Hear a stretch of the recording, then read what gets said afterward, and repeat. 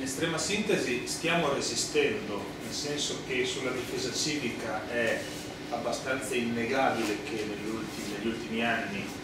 scelte anche a livello centrale, si è disinvestito. Oggi i comuni sono sprovvisti di questa figura del difensore civico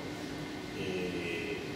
la legge incentiva l'utilizzo della provincia come spazio di coordinamento, ma il destino delle province è a sua volta noto a tutti e quindi abbiamo trasformato e abbiamo, secondo me efficacemente, grazie all'azione dell'avvocato Lulli, interpretato la difesa civica non tanto come persone che si rivolgono per un problema con la pubblica amministrazione regione Emilia-Romagna, ma con la pubblica amministrazione del territorio regionale. Questo lo facciamo attraverso lo strumento della convenzione con gli enti locali che dicono non abbiamo un difensore civico nostro ma ci avvaliamo del servizio di difesa civica della regione Emilia-Romagna